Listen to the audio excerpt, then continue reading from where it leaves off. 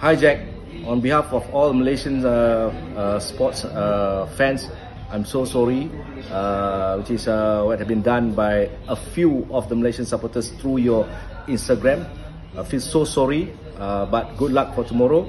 Dan esok untuk Datuk Azizul Hasni Awang dan juga Syafidaus yang masih lagi dalam kedudukan yang menjadi tanda tanya apapun ayuh seluruh rakyat Malaysia kita doakan bersama-sama kita panjatkan doa kepada Allah Subhanahu Wa Taala untuk pemburuan untuk merintis kemungkinan pingat di uh, Sukan Olimpik Tokyo ini akan hadir dari kedua-dua anak Malaysia yang tidak punya ada rasa putus asa demi Malaysia.